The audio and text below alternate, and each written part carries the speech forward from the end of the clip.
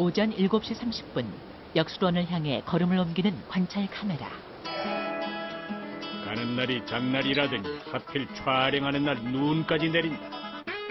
구전 날씨 탓에 행여 손님들 안 오시면 어쩌나 걱정하려던 것도 잠시 두 눈을 의심케 하는 상황이 포착됐다. 하나, 둘, 셋, 넷, 다섯, 여섯, 일곱, 여덟 슬리퍼를 빼고 뭐 여덟 켤레. 조심스레 문을 열어 확인해보니 정말로 이른 아침부터 손님들이 가득하다. 근데 이렇게 아침 일찍부터 이렇게 많이 들어오셨네요. 연락을 했더니 이렇게 와야지 좀 있다고 아 그래요? 하시더래요. 아침 일찍 와야지. 선착순으로 선착순으로 간다는 게 그래가지고 아온 순서대로요? 아무래도 관찰 시작 1시간 30분 경과. 여전히 대기 중인 손님들. 그런데 잠시 후 누군가 호련히 등장했다. 많이 오셨는데? 아 그래요? 네. 다른 때 원래 평소에 이 시간이 이렇게 많이 오세요? 네, 이렇게까지는 많이 오는, 어느, 그러니까 가끔 이렇게 더 많이 모이시는 날도 있긴 한데, 비 오는 날은 이렇게 안 오시는데? 선생님은 그러면은 뒤서 네, 네. 일찍부터 시작인 거예요. 상담 시작은 11시부터예요. 그럼 그때까지 다 기다리세요. 그냥 기다리시는 분들도 힘드시겠는데요. 그 여기 오면 정말 인내가 필요하시거든요. 여기 오시는 손님들은. 그렇지 않으면 못해요. 제가 볼 때는. 상담 시작까지는 아직 두 시간이나 남은 상황. 세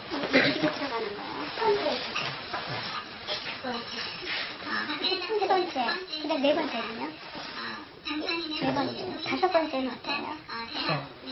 여섯 번째는요? 해줄 수 없잖아요. 그럼 나가는 거지. 나. 첫 번째.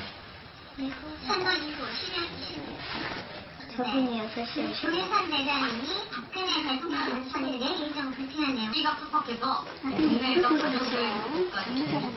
한 번만 네. 네, 나아지지 않을까라고 생각이 듭니다. 기다리기 지루해진 손님들 서로 근황 토크 시작하신다. 직장 때문에 오신 거예요.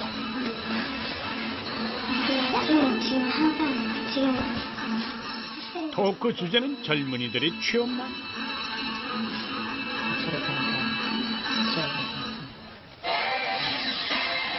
전공 뭐 하시나요? 생명과학 생명공학의 문제를, 우리 애도 생명공학인데, 생명공학이 이제 문제예요. 시작을 해서 지금 은상까지 받았는데도 취직은 못하고. 음, 자녀분 때문에 오실 거예요. 음.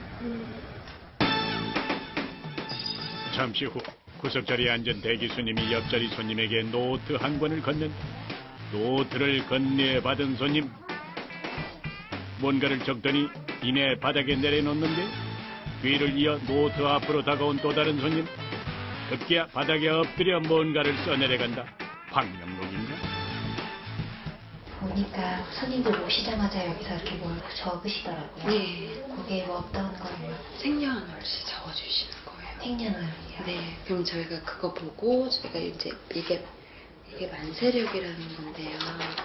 만세력. 네. 사주 팔자로 그냥 아예 이제 해서 나오는 거예요. 그럼 선생님 들어가서 볼 때 그럼 이거 보고 바로 하실 수 있으니까. 그 시각 조용히 대기실로 들어서는 한 남자가 포착됐다. 대기하던 손님들 일제히 그를 향해 목례를 하는데 알고 보니 이 양반이 바로 손님들이 애타게 기다리던 바로 그 역술가 선생 되시겠다. 의관 정지하고 상담 준비 끝. 30년 경력의 역술인 그를 찾아온 손님들은 어떤 사연들을 털어놓을까?